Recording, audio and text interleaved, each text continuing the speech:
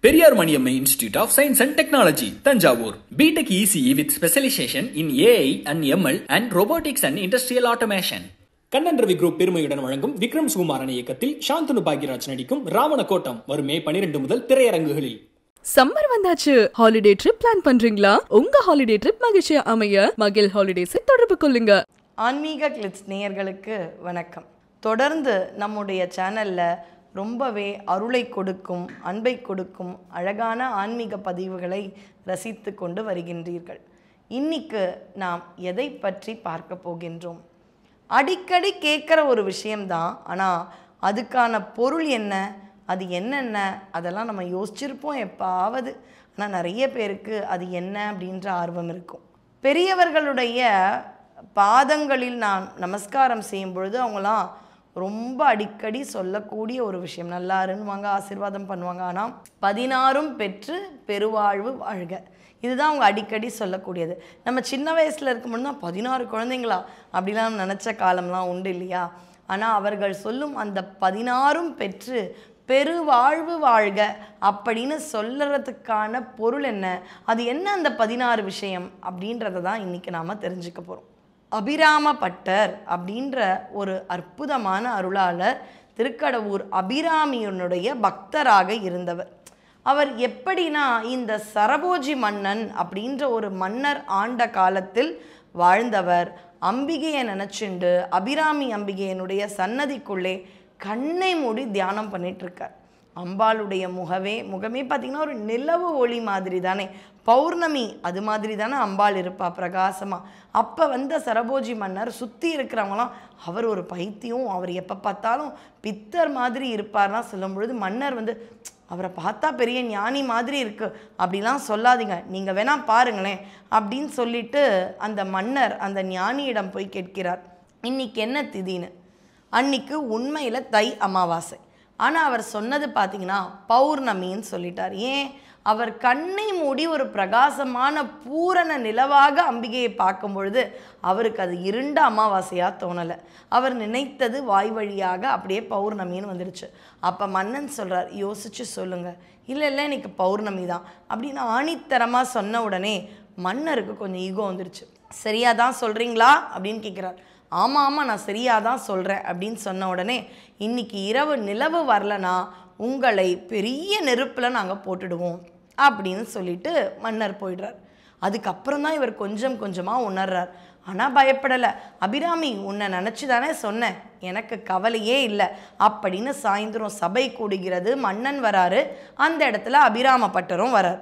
இந்த அபிராம பட்டரை மேலே ஒரு நூறு கயிறுகளை வச்சுட்டு ஒரு பலகை மேலே நிற்க வச்சுட்டாங்க. இந்த தண்டனைக்கு பேர் அரிதண்டம்னு பேர்.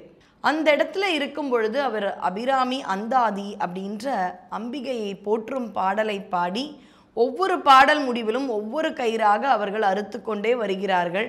எழுபத்தி ஒன்பதாவது பாடல் முடிஞ்ச உடனே பூரண நிலவு வானத்தில் வருகிறது. அம்பிகை தன்னுடைய தோடையே வானத்தில் போட்டாங்க. இது அவருடைய வரலாறு. அவர் எழுதிய அபிராமி அந்தாதி பலருக்குமே தெரியும். உதிக்கின்ற செங்கதிர் உச்சி திலகம் உணர்வுடையோர் மதிக்கின்ற மாணிக்கம் மாதுளம் போது மலர்க்கமலை அப்படின்னு பார்த்தீங்கன்னா அந்தம் ஆதி அந்தம் ஆதின்னு ஒரு பாடலின் நிறைவான வார்த்தை அடுத்த பாடலுக்கு ஒரு தொடக்க வார்த்தையாக இருக்கும்.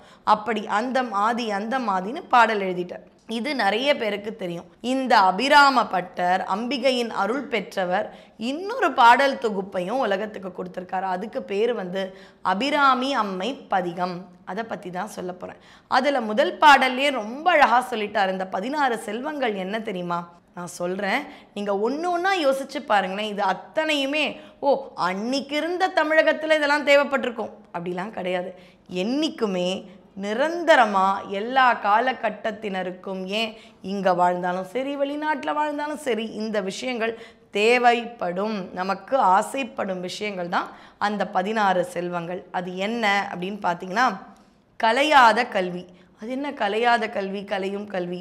அதாவது ஆங்கிலத்தில் சொல்லணும்னா டிஸ்கண்டினியூ ஆகாத ஒரு எஜுகேஷன் சில பேருக்கு சில சூழ்நிலையால் தொடர்ந்து கல்லூரி படுக்க படிக்கவே முடியாது. அல்லது ஒரு பெரிய மருத்துவ கல்லூரியில் படிப்பாங்க. மூன்றாவது நான்காவது வருஷம் கட்டணம் கட்ட முடியாது. இப்படிலாம் இருக்கும் இல்லையா? அதுதான் கலையாத கல்வி. எந்த ஒரு கல்விக்கு ஆசைப்பட்டோமோ அந்த தொடர் கல்வி கிடைக்க வேண்டும். கலையாத கல்வி குறையாத செல்வம். அது என்ன குறையாத? அதாவது எல்லாத்துக்குமே பார்த்தீங்கன்னா ஒரு அழகான அதை பற்றி சொல்லும் வார்த்தையே வச்சுருக்கார். ஆங்கிலத்தில் அட்ஜெக்டிவ் அப்படின்னு சொல்லுவோம். அதாவது டிஸ்கிரைபிங் வேர்ட் அப்படின்னு ஆங்கிலத்தில் சொல்லுவோம். அதாவது என்ன வெறும் செல்வம் போகிறதா இல்லை இல்லை. குறையாத செல்வம். அது என்ன குறையாத செல்வம்? ஒரு சமயத்தில் பணம் இருக்கும். சிலரை பார்த்து சொல்லுவோம் இல்லையா? வாழ்ந்து கெட்டவங்கப்பா ஒரு சமயத்தில் எப்படிலாம் இருந்தாங்க தெரியுமா? வாழ்ந்து கெட்டவங்க அப்படி சொல்லுவோம். அப்படிலாம் இருக்கக்கூடாது. எப்போவுமே நிரந்தரமாக எனக்கு வைப்பு நிதி செலவு பண்ணுறதுக்கு நிதி என்பது இருக்க வேண்டும். கலையாத கல்வியும் குறையாத வயதும் ஓர் கபடு வாராத நட்பும். நல்ல ஃப்ரெண்ட்ஷிப் கபடு அப்படின்னா ஏதாவது நோக்கத்திற்காக வரும் ஃப்ரெண்ட்ஷிப் இருக்கக்கூடாது. அது பாருங்க இந்த காலகட்டத்திற்கும் தெரியும். அம்மா சொல்லுவாங்க அவன் மூஞ்ச பார்த்தாலே சரியில்லடா. அவன் உ- அவனுடைய சகவாசம் உனக்கு எதுக்கு? அப்போ நல்ல நட்பு தேவை. கபடு வாராத நட்பும் கன்றாத வளமையும் குன்றாத இளமையும். இன்னைக்கு கூட அப்படி முதல் தடவை நிறைய முடி வந்தால் நம்மலாம் என்ன பண்ணுறோம் அதை கரிய நிறமாக மாற்றிக்கணுன்றதுக்கு எவ்வளோ பிரயத்தனப்படுறோம். அதனால் இளமையும் இருக்க வேண்டும். குன்றாத இளமையும் இருக்க வேண்டும். கழுப்பினி இல்லாத உடலும். பிணி அப்படின்னா மறுபடியும் மறுபடியும் வருங்க. எப்பாவது நமக்கு ஜுரம்னா ஓகே மாத்திரை போடுறோம் சரியாது. ஆனால் சிலருக்கு பார்த்தீங்கன்னா சளி ஆகட்டும் ஏதாவது உடல் உபாதைகள் ஆகட்டும் மறுபடியும் மறுபடியும் வந்துட்டே இருக்கும். அது மாதிரி ரெக்கரண்ட் ஆகக்கூடாது. அதுக்கு பேர் தான் பிணி. மற்றதுக்கு நோய். தமிழில் பார்த்தீங்கன்னா எவ்வளோ நுணுக்கமான வார்த்தைகள். கழுப்பினி இல்லாத உடலும் அன்பு அகலாத துணைவு. நல்ல கணவன்னா மனைவி மனைவினா கணவன். அன்பு அகலாத மனைவியும் நம்ம துணையும்னு சொல்லலாம். தவறாத சந்தானமும் கண்டிப்பாக ஒரு குழந்தை செல்வம் வேண்டும். தாழாத கீர்த்தியும் அதாவது ஒரு சமயத்தில் கீர்த்தின்ற புகழ் வந்துடும் ஆனால் ஏதாவது பிரச்சனையில் அந்த புகழுக்கு அவப்பெயர் வந்தால் எவ்வளோ வருத்தமாக இருக்கும். புகழே இல்லாமல் கூட வாழ்ந்துடலாம். ஆனால் புகழ் வந்த ஒருத்தருக்கு அந்த பேர் கெட்டு போகுதுன்னா அவருக்கு எவ்வளோ பதப்பதைக்கும் தெரியுமா?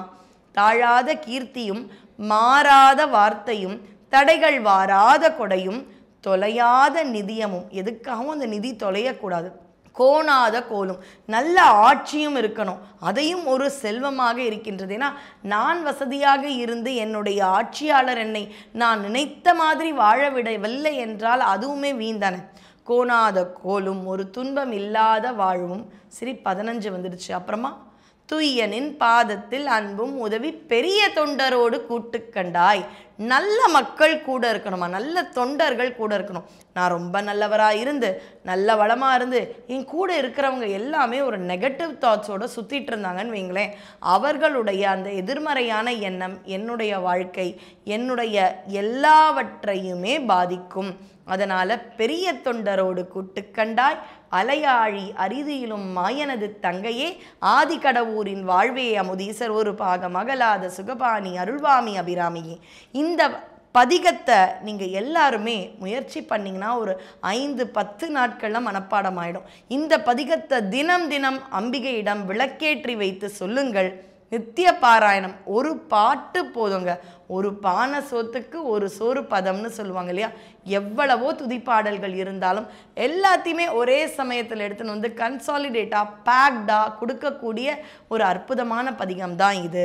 இதை நான் இப்போ வேகமாக சொல்கிறேன் உங்ககிட்ட புத்தகம் இருந்தால் ஒரு தடவை படிச்சுக்கோங்க.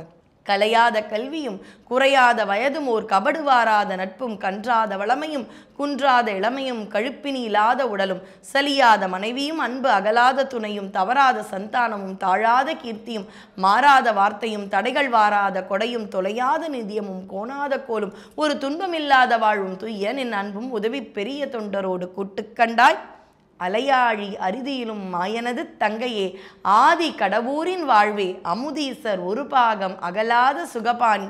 அருள்வாமி அபிராமியே என்று இவ்வளோ அழகான தமிழில் எல்லாத்தையும் ஒன்றாவே கேட்டுடலாமே. அதாவது ஒரு நகைச்சுவை தான் ஞாபகத்துக்கு வருது. ஒரு கோடி பதினாலாவது கேள்விக்கு நீங்கள் பதில் சொன்னால் தான் கிடைக்கும். அப்போ ரொம்ப நகைச்சுவை நடிகர் வந்து சொல்வார். அப்போ பதினாலாவது கேள்வியை முதலையே கேட்டுருங்களேன் அப்படின்னு சொல்லுவார் இல்லையா?